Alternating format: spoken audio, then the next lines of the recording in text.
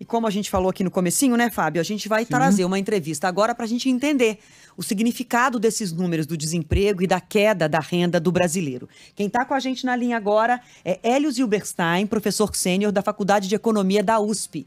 Boa tarde, professor. O senhor me ouve bem? Ouço muito bem, Adriane. Boa tarde. Boa, Boa tarde, tarde. Boa tarde, professor. Professor, Vamos começar falando da renda, que eu acho que é um dado bastante significativo, que embora a taxa de desemprego tenha ficado estável, é, o dado da renda ele é bastante significativo porque a gente está fazendo a comparação do primeiro trimestre de 2022 com o período similar, o primeiro trimestre de 2021. E a gente está falando de quase 9%, né? 8,7% de queda da renda do brasileiro, com uma renda média de R$ 2.548.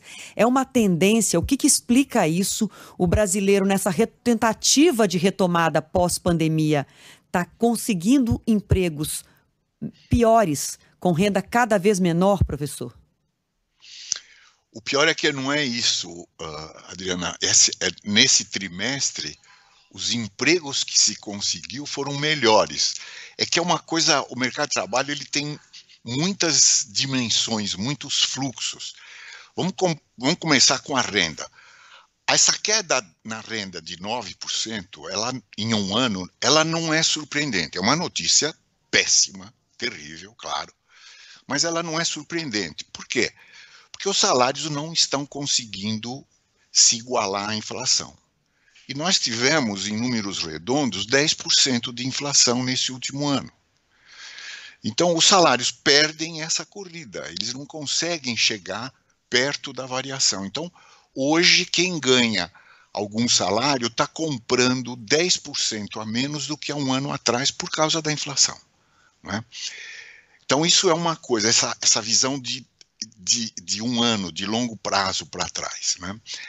Agora, o surpreendente é que, se você olhar para o trimestre, a variação desse trimestre com o último trimestre do ano passado, a renda aumentou.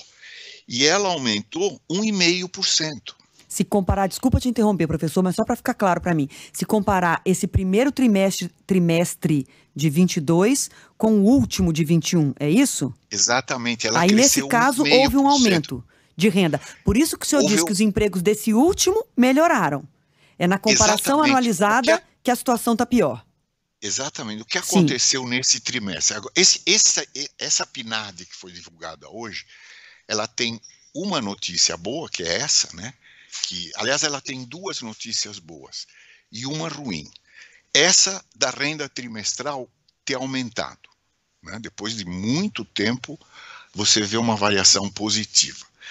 E a outra notícia boa, que aí vai ajudar a gente a entender por que, que aumentou, é que a qualidade das ocupações que ainda persistem no mercado de trabalho melhorou.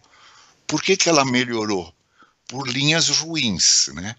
É que o, nós temos hoje menos gente trabalhando, e quem perdeu o trabalho foram as pessoas que tinham os piores trabalhos.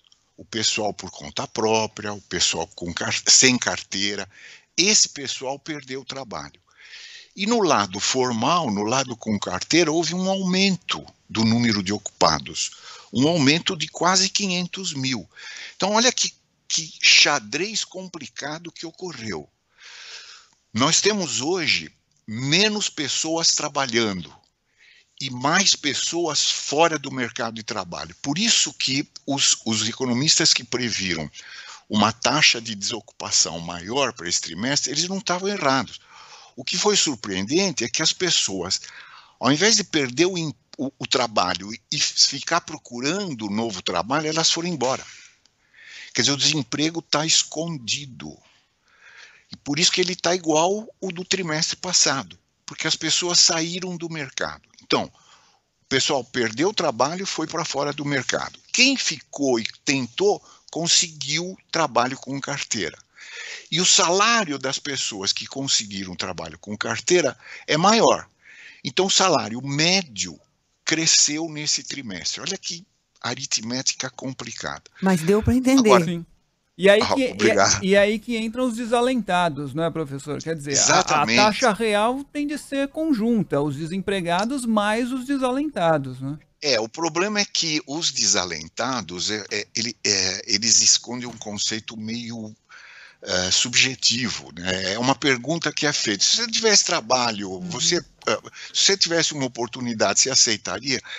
Quer dizer, é meio difícil dizer que essa pessoa está realmente desalentado. Eu prefiro comparar a população em idade de trabalho com a população que está trabalhando. E esse, esse indicador ficou pior nesse trimestre. Aí você tem uma medida mais objetiva. Quer dizer, a proporção de pessoas que poderiam ou deveriam estar trabalhando por causa da idade delas não, est é, não estão trabalhando e é maior do que há três meses atrás. Então, o resumo aqui é, é, é, é muito ruim. Né? O mercado de trabalho está patinando, ele parou, ele tem uma, uma melhora aparente que está escondida pela fuga das pessoas. As pessoas estão desesperançadas de conseguir uma ocupação. E olha que quem deixou de estar ocupado nesse trimestre não é gente que tinha trabalho com carteira, não são os informais. As pessoas sem carteira foram mandadas embora, os conta própria foram desistiram do, da, da, do seu ponto de venda da coisa que estavam fazendo. A situação está muito, muito ruim. Né? E a inflação por cima de tudo isso, óbvio, né? que é uma coisa muito ruim. Um e essa taxa de informalidade muito alta, né, professor? De cerca de 40% da população que poderia estar trabalhando formalmente, né? É, nós temos uh, os, os, os, informais, eles cresceram é, aliás, nesse trimestre, a informalidade diminuiu. Mas ainda é muito alta, né? É muito alta. E por que, que ela diminuiu? Porque os informais foram embora. Uhum. Eu preferiria que ela não tivesse diminuído e que eles tivessem continuado a trabalhar, mesmo informalmente. É? é, que o Mas informal, já vivendo do plano B, já está difícil é, também no plano é, B. É, é, a taxa de, de informalidade no Brasil é escandalosa. Né? E aí, para entender isso, a gente precisaria de um, uma tarde inteira para discutir.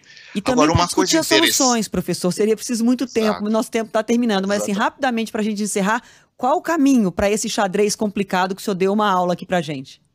Voltar a crescer. Não tem caminho, não tem outro caminho. Nós precisamos voltar a crescer. A gente precisa criar um, um ambiente em que as empresas, os investidores, os consumidores ganhem confiança que a gente está numa direção legal, e aí eles vão voltar a investir, principalmente o que a gente precisa é investir em infraestrutura, porque infraestrutura cria emprego. Infraestrutura é saneamento básico, é habitação, é estrada, é porto, é aeroporto, é estrada de ferro. Isso precisa ser feito. Agora, o governo está quebrado no Brasil, ele não tem condição. Sempre foi o governo que puxou esse investimento. Isso acabou. Então, nós precisamos atrair o, o, o capital privado e dar confiança para esse capital para voltar a criar infraestrutura, e aí infraestrutura é injeção na veia do emprego. Enquanto isso não acontecer, a gente vai ficar patinando. E esse ano a gente deve ficar assim e até chegarem as eleições. E a gente espera que nós façamos escolhas corretas dessa vez, que surjam opções, boas opções, e que a gente possa escolher um caminho mais promissor para nós. Para a gente não ficar travado nesse tabuleiro. Muito obrigada, professor Hélio Zilberstein. Acertei a pronúncia do nome do senhor? Acertou, meus parabéns, não é então, fácil. Tá bom. um bom final de semana para o senhor. Muito obrigada pela participação Obrigado aqui entre nós. Vocês também. Obrigado, professor.